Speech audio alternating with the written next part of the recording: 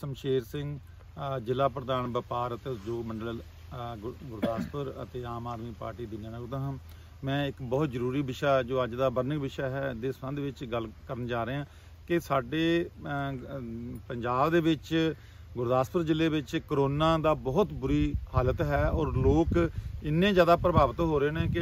ਲੋਕਾਂ ਨੂੰ ਸਰਕਾਰੀ ਹਸਪਤਾਲਾਂ ਦੇ ਵਿੱਚ ਕੋਈ ਸਿਹਤ ਸੇਵਾਵਾਂ ਦਾ ਪ੍ਰੋਪਰ ਜਿਹੜਾ ਉਹ ਇੰਤਜ਼ਾਮ ਨਹੀਂ ਮਿਲ ਰਿਹਾ। ਲੋਕ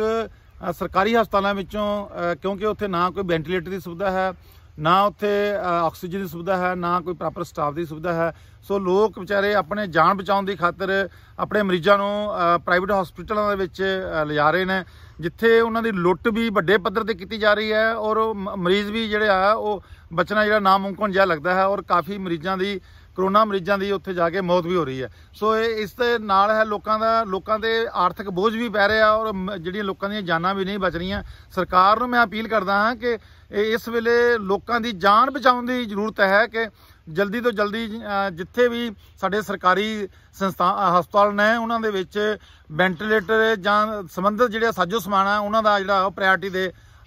ਆਪਣੇ ਇੰਤਜ਼ਾਮ ਕਰਨ ਦੀ ਖੇਚਲ ਕੀਤੀ ਜਾਵੇ। ਔਰ ਮੈਂ ਸਮਝਦਾ ਕਿ ਇਸ ਵੇਲੇ ਜਿਹੜੀ ਸਰਕਾਰ ਆ, ਉਹ ਬਿਲਕੁਲ ਇਸ ਮੁੱਦੇ ਤੇ ਨਾਕਾਮ ਹੈ ਔਰ ਆਪਣਾ ਕੋਈ ਵੀ ਕੰਮ ਕਰਨ ਵਿੱਚ ਜਿਹੜੀ ਹੈ ਨਾ, ਉਹ ਅਸਮਰਥ ਦੇ- ਦਿਖਾਈ ਦੇ ਰਹੀ ਹੈ। ਮੈਂ ਇਹੀ ਅਪ- ਪੁਰਜੋਰ ਅਪੀਲ ਕਰਦਾ ਸਰਕਾਰ ਨੂੰ ਕਿ ਇਸ ਵੇਲੇ ਲੋਕਾਂ ਦੀ ਜਾਨ ਬਚਾਉਣ ਵਾਸਤੇ ਸਰਕਾਰੀ ਹਸਪਤਾਲਾਂ ਨੂੰ ਵੱਧ ਤੋਂ ਵੱਧ ਜਿਹੜੀਆਂ ਸੁਵਿਧਾਵਾਂ ਦਿੱਤੀਆਂ ਜਾ ਸਕਣ ਤਾਂ ਜੋ ਲੋਕਾਂ ਨੂੰ ਪ੍ਰਾਈਵੇਟ ਹਸਪਤਾਲਾਂ ਦੀ ਲੁੱਟ ਤੋਂ ਬਚਾਇਆ ਜਾ ਸਕੇ।